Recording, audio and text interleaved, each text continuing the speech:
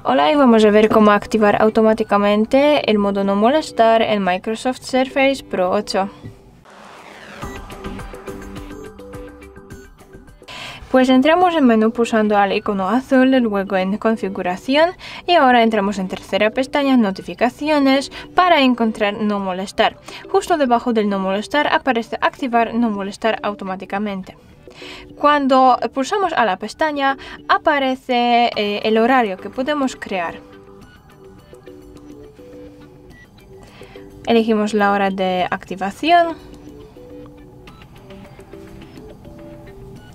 y de desactivación.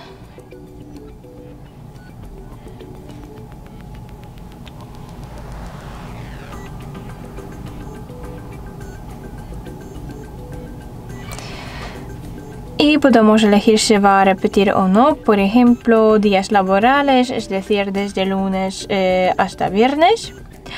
Uh, y si todo está listo, lo podemos dejar así porque ya está activado y eso significa que cada día desde el lunes hasta el viernes a las 9 de la mañana eh, se va a activar automáticamente eh, y al mediodía se va a desactivar automáticamente el modo no molestar.